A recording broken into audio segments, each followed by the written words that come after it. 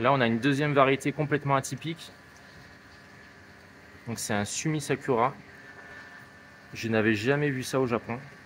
En plus, il est d'une très grande qualité. On a un Sumi qui est extrêmement profond. Un pattern qui est vraiment parfait. Une belle symétrie au niveau des nageoires. Le Shiroji, le blanc, est vraiment très très propre aussi. Et puis on a ce, ce motif un peu, un peu rosé qui arrive entre dans, le Shiroji qui est, qui est vraiment très très intéressant. C'est une femelle de 50 cm.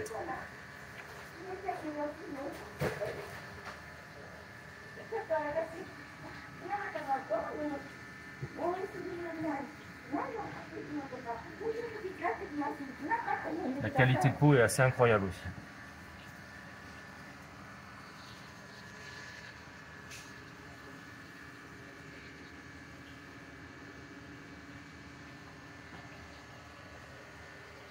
here.